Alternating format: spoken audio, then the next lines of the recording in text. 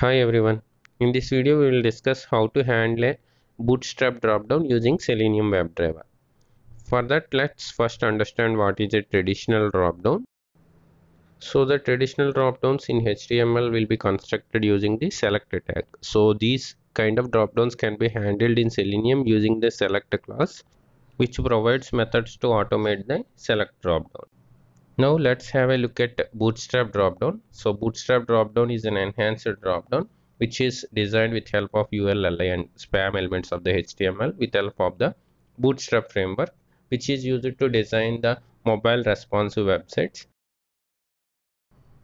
So this is an example how a Bootstrap dropdown will look like and we can handle this kind of dropdown with help of find elements method and looping through the different options with help of for or enhanced for loop. So let's try to automate this scenario. So i just navigated to the practice page and here we can see the example for the bootstrap dropdown let me try to inspect this. So as i have inspected we can see the red color whatever we are seeing is a button and the options are under ul and li tags.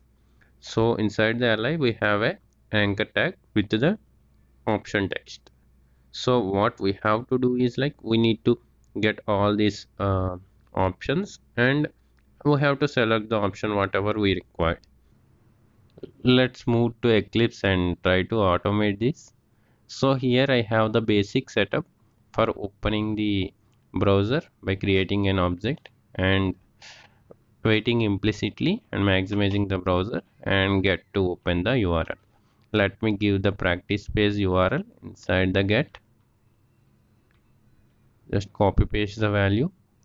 So inside the test method we have to write our logic for clicking on the button and getting the options. Let me inspect the button. So this is a button with an id called tutorials dropdown. So we can locate this element with help of the id so we can go to the eclipse and try driver dot find element by dot id and we can provide the value that we just copied.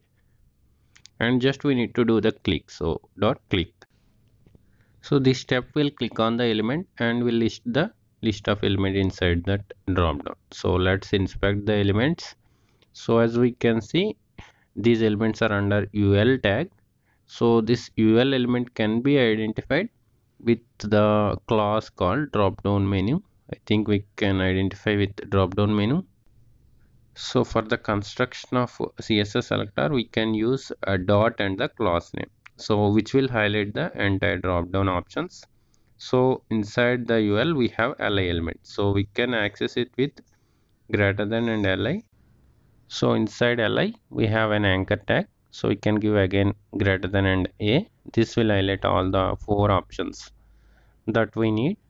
So let's copy the css value and navigate to eclipse. Here we can use a list of web elements to store those options. So we can give list of web element and options equal to driver dot find elements because we are storing multiple options.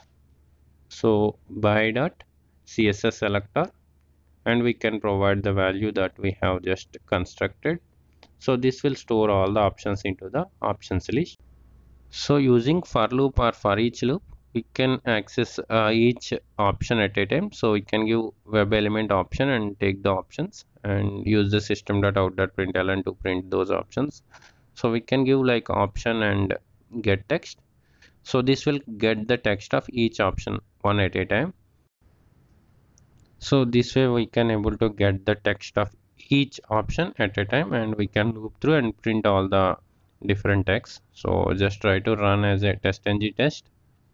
So this should uh, print all the options inside the bootstrap dropdown inside the console. Let's increase the console. So it should open the practice page and it should click on the drop down and it should print the values inside the console. Let's see. So it's still loading the page let's wait for some more time. It clicked on the drop down and it has printed all the options into the console and the test case has been passed. Yeah that's it for the video. Please do like and subscribe